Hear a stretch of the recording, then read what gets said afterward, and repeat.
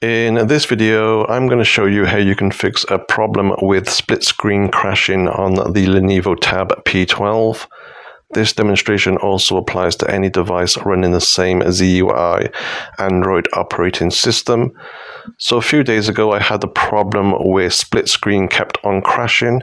It didn't matter what app I opened up, the same problem existed on every single app. So to fix the problem, I went into settings. So from your home screen, swipe up to reveal all your apps and look for the settings icon.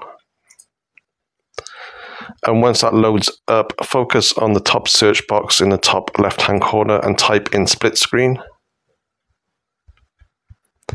Usually just typing in split is enough. And the option you want is this one here. It's called split screen apps dash app info. So select that one. Once that loads, focus on storage and cache.